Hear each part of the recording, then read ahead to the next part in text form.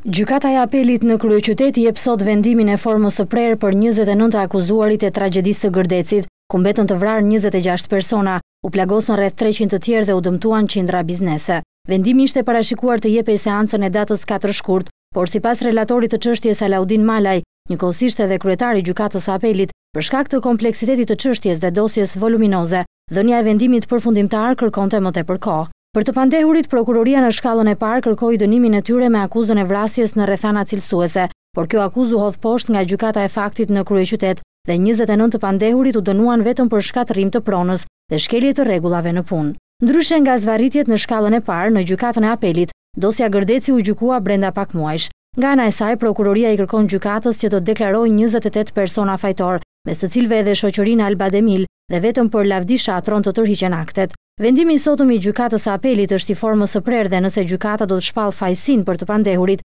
atëherë vendimi duhet të zbatohet brenda njëzet e katër orëve nga Policia e Shtetit, duke i dërguar në qeli. Gjatë dhënies së vendimit, pritet të jenë të pranishëm edhe familjarë të viktimave të tragjedisë së Gërdecit, të cilët kanë qenë të pranishëm në pjesën dërrmuese të seancave. Marsin e vitit të kaluar Gjykata e Tiranës dënoi me tetëmbëdhjetë vjet burg ish-drejtorin e Meikos Ylli Pinari dhe Dritan Minxollin, ndërsa Mihal Deliorgji, administratori shqiptar i shoqërisë Alba Demil, u dënua me dhjetë vjet heqje lirie. Dënimit nuk i shpëtoi as ish-shefi i Shtabit të Përgjithshëm Luan Hoxha, i cili u dënua me gjashtë vjet heqje lirie.